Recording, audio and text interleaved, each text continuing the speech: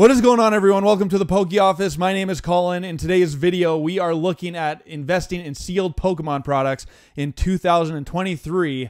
I can't believe it's October already. Things are flying. Pokemon 151 is out. The Pokemon economy is kind of in a bit of a downturn, but people are flocking back for 151, and that's really hard to find. But booster boxes are really cheap, and uh, singles are really cheap. So there's like I mean, it's kind of a crazy time in the Pokemon scene. So we're going to dive into what is going on and what I think could be some good pickups for you in the sealed product department. Before we do that, I have a giveaway going on this week. So if you want to be entered to win four packs of Scarlet and Violet 151, what you need to do is subscribe to the channel with bell notifications on, hit the like button, leave a comment. Let's get into this data and see what are some good sealed products for Pokemon in October 2023. Okay, starting out, we talked about it last week in some videos, but man, oh man, the booster boxes for Scarlet and Violet era are absolutely ridiculously cheap. Starting off a Scarlet and Violet base set, booster box down from $99.88. It's currently sitting at $90.19. A couple days ago, it was actually at $89 on TCG Player. So a $90 booster box. What an insane time to get a booster box. Even though it's not the most popular set, like you almost can't go wrong buying a booster box for that cheap, honestly.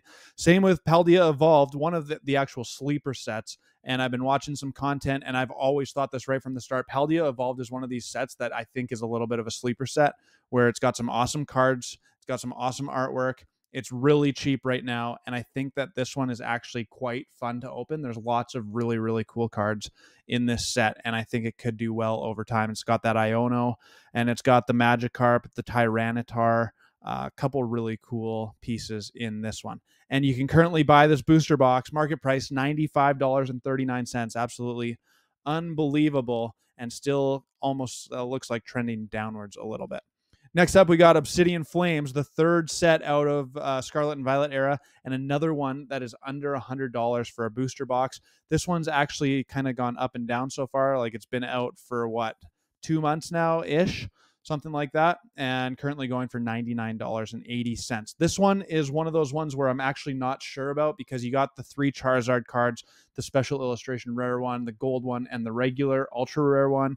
Uh, Charizard always seems to pack a bit of a punch, but then we also have talked about uh, recently that Charizard seems to be overprinted lately. Lots of people are feeling that effect. Like it's just, we've had too much Charizard because uh, we've had it in like Brilliant Stars. We had it a bunch early on in Sword and Shield. Then we had a Radiant Zard in Pokemon Go. We had a Radiant Zard in Crown Zenith. Uh, and now another Charizard here in uh, Obsidian Flames. Well, a bunch of Charizards. And it was in celebrations as well. Charizard has ruled for a long time. Okay, so we have all of these Scarlet and Violet booster boxes currently going for under a $100. So like in that video where I talked about my investing strategy. I'll link it up in the top and in the description. But uh, buying booster boxes for MSRP over time is going to do really well, in my opinion. You're just going to continue to dollar cost average in. So you're going to continue buying the new set. And over time, these are going to work out really well. You're going to buy the dips, you're going to buy the highs. And overall, it's just all going to average out into you buying at a good time. But I also think that Sword and Shield era booster boxes are going to do really, really well as well, starting with kind of the Chilling Reign era. So I, I didn't include Battle Styles, but Battle Styles is okay as well. It's also cheap still, considering how old it is. But Chilling Reign is one of these sets where you have so many amazing cards in it. You got the Blaziken VMAX, which actually I was looking this week, and there's like the population for PSA 10 Blaziken VMAX cards is quite low and it's a really really cool card but then you have the three birds you got the articuno the moltres the uh, zapdos and you have the gold snorlax you got the ice rider and shadow rider calyrex vmax cards lots of really cool cards in chilling Reign. lots of huge bangers and uh, you're still buying this booster box at market price which is under MSRP. MSRP is like $143.63, I believe. So if you can still find these booster boxes, we're going to go through them fast. But Chilling Reign, uh, right around MSRP mark. Fusion Strike, you got some cool cards. You got the Muse, you have the Espeon VMAX, you got the Gengar VMAX. Beautiful cards. And this one going right around MSRP as well. Then we move into Brilliant Stars, another Charizard set where you have the Rainbow Zard, you have the Charizard Alt Art, you have the Arceus. Uh, some really cool cards here, and Brilliant Stars right around that MSRP mark. Then we go into Astral Radiance. This one's actually on the up and up right now from $120 three months ago to 142, but still at that MSRP range. You got the Machamp, you got the Dialga, you got the uh, Palkia. Some really cool cards. Uh, you go into Lost Origin. You have the, one of the biggest cards out of Sword and Shield era, the Giratina, and this one just went through a reprint along with Silver Tempest. But already I'm talking to TCG and Games, shout out to him, and he doesn't have any Lost Origin for me to buy anymore because it is like flying off the shelves. Same with Silver Tempest, he still has a little bit, but uh, these prices have taken a hit. So because of that reprint, but now is a great time to maybe uh, stock up on a few more booster boxes of all of these sets. I went through those pretty quick, but we're talking about Chilling Reign, Fusion Strike, Brilliant Stars, Astral Radiance, Lost Origin, Silver Tempest, basically the last half of Sword and Shield era, where the booster boxes are still like right around that MSRP mark. And over time, you can get in late almost. And I think there's some huge opportunity where people are going to remember the COVID times where they're sitting at their house. They got back into Pokemon. There's alternate arts introduced. There's some really cool cards they uh, remember opening and getting back into Pokemon during the Sword and Shield era. And I think that's going to be a huge hit like five years down the road, maybe even 10 years down the road as Pokemon goes through these ups and downs cycles. Hey, before we carry on, I just wanted to let you know about my partnership with TCG and Games.com. You can go there and get 5% off your next Pokemon order. The guy has awesome stock, uh, great service, great delivery, and you can pre order lots of stuff as well. So if you want 5% off your next Pokemon order, go to TCGandgames.com use the promo code the Poke Office, and he's going to treat you really good. Let's get back to the data. Next up, we're talking about a reprint which is about to happen, a Crown Zenith Elite Trainer Box reprint, where uh, right now the the boost or sorry the Elite Trainer Box fifty four dollars and nineteen cents, uh, but I think that you're going to be able to get your hands on some of these.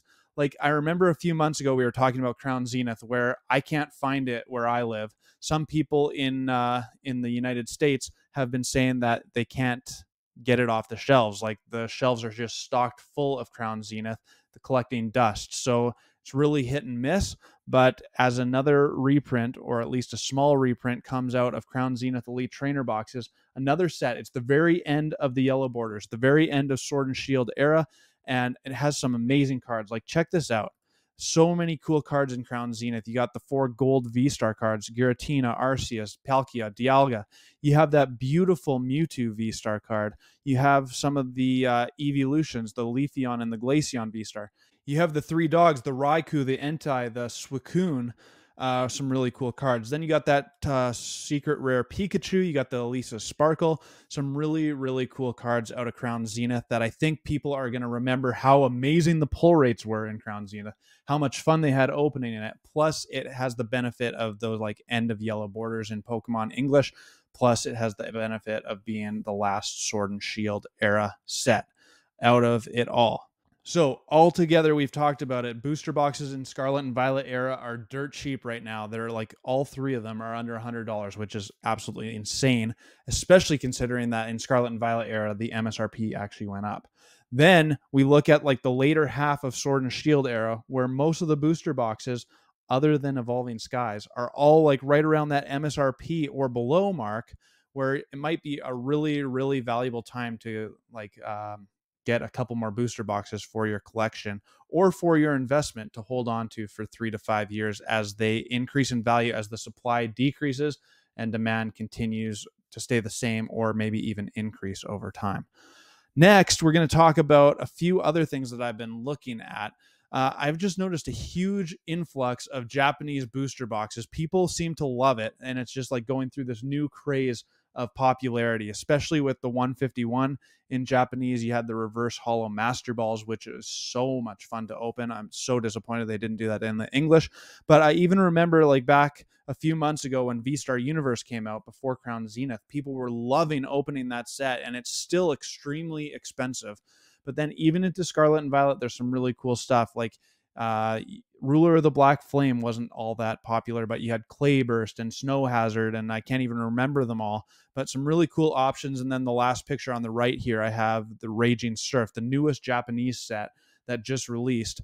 And people just seem to love opening Japanese cards. There's this new craze in North America about Japanese cards. The quality control is absolutely phenomenal.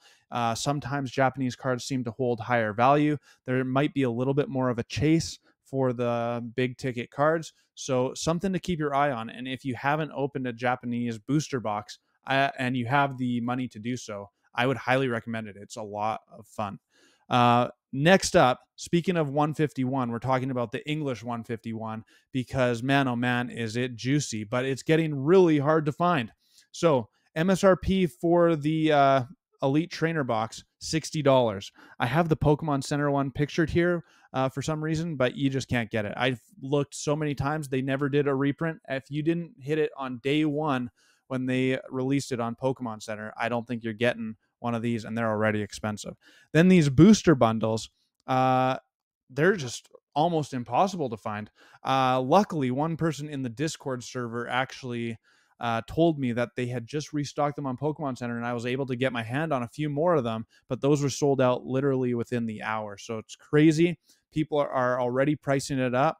TCG and Games has told me that the distributors, so not even the local game stores or the online storefronts, the distributor is actually already increasing the price to sell to the storefronts who then have to increase the price to us as the consumer, which is just mind blowing because 151 is literally brand new. Uh, but man, oh man, is it fun to open. So if you can get your hands on some of this, first of all, I think 151 is going to age super well because I already am seeing it in the community and on YouTube and on Facebook. People are coming back and flocking back to Pokemon to collect them all, the original 151. So that's really exciting. So it's bringing this new influx of collectors and hobby enthusiasts back into Pokemon. Um, but also at the same time, I think that if we can learn anything from Crown Zenith or lots of the specialty sets, Pokemon is going to continue to reprint this. Like, remember how long you could find celebrations on Walmart shelves?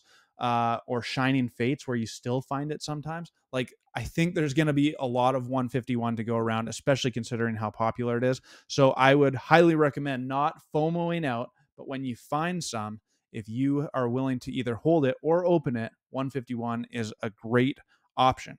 Coming out in like a couple weeks, uh, it's not long now. The 151 Ultra Premium Collection another great option. And I think there's actually some available. So I don't think this is going to be like the Celebrations Ultra Premium Collection where there was none and then the, the price just skyrocketed. But I don't think it's going to be like the Charizard UPC because I think Pokemon recognized how much of a failure that was with overprinting it to the moon.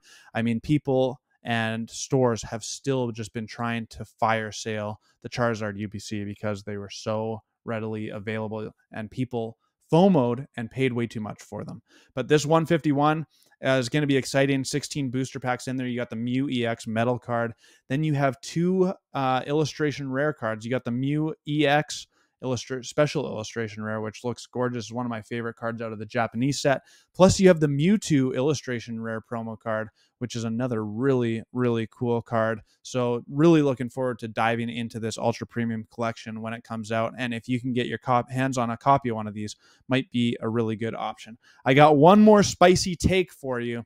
And we've already talked about all the other booster boxes. So why not include Evolving Skies? If you can afford to get your hands on one of these things, I think that Evolving Skies is going to the moon. I don't think you've missed the opportunity yet. If you look back at like Team Up, uh, Ultra Prism, Unified Minds, Cosmic Eclipse, the later booster boxes out of the Sun and Moon era, they were kind of mid range for quite a while, and all of a sudden, boom, and now they're all like $500 plus. Team Up is an insane amount. I don't even want to tell you how much a Team Up booster box is, uh, but all of them going crazy.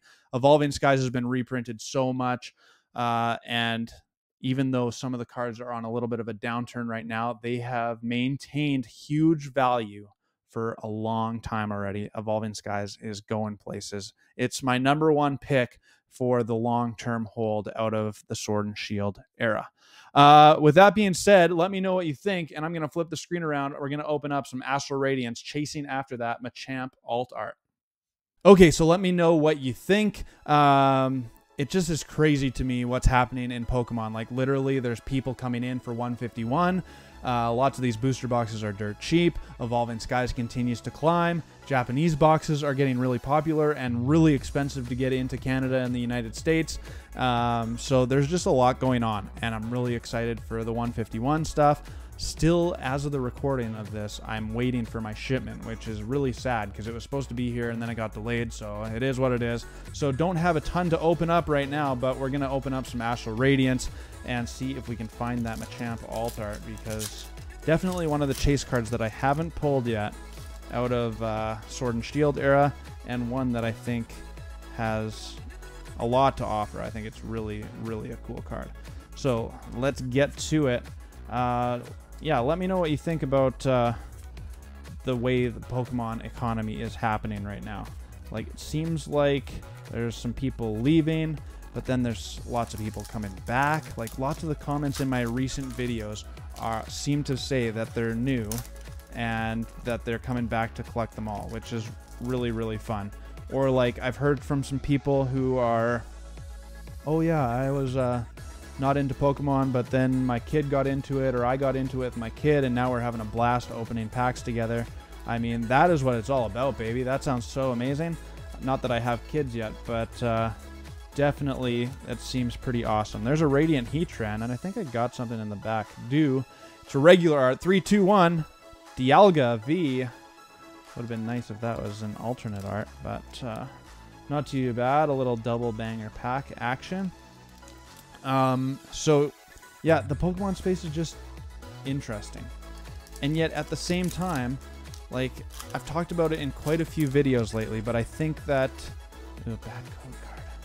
I think that uh, the Pokemon scene is going to age well because people just are going to remember the Sword and Shield era. I think the Sword and Shield era has so much to offer.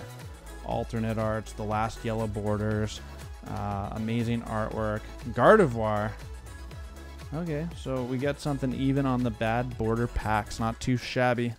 Um, so much to offer. Uh, I it's when I got back into Pokemon, so I think I'm like a lot of people. Like lots of people got back during the Sword and Shield era.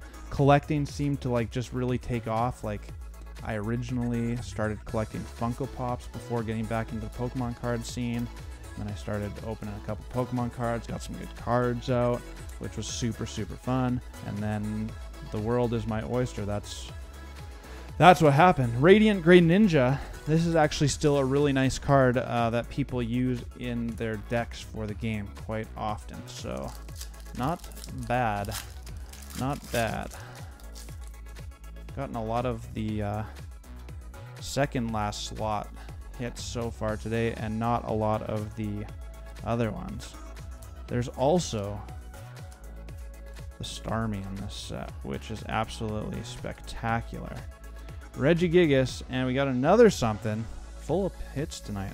Uh, Regigigas and a Machamp. Oh man, we are hitting all of the V's, but not the uh, not the alternate arts. I don't think I've ever actually pulled that card.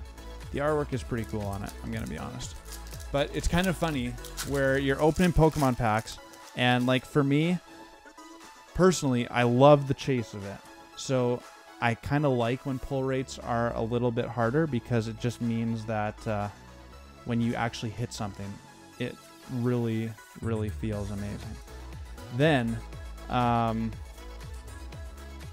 the the value goes up too, which is kind of nice. We got another something. My goodness.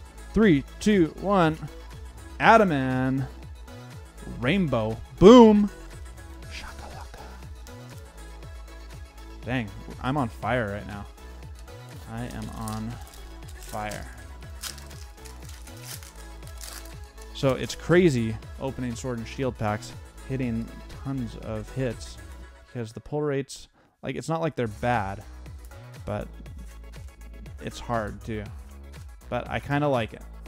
So that's another reason why I like, especially some of the older sets, like um, Fusion Strike, Chilling Reign, Evolving Skies, when you get a big hit out of those packs, like it's like, I worked for this. Or if you didn't work and got lucky, then it feels really good. It's like you hit a uh, jackpot. The Bonitis, as we like to say on the Poke Office, Uh, man, I need to get a meme made of that for all you regular watchers and who've joined me on my live streams. So one of these days we'll get to it. Two packs left. Um, thank you for watching. My channel has been experiencing crazy huge growth over the last couple weeks here, which is really amazing. Kind of blows my mind actually. So thank you all for your support. Yeah, like I don't take it lightly. Don't take it for granted at all. It's amazing. Not on that pack, so we're on to the last pack. Come on, baby. Last pack magic. Last pack magic. One time. Here we go. Alright. Come on.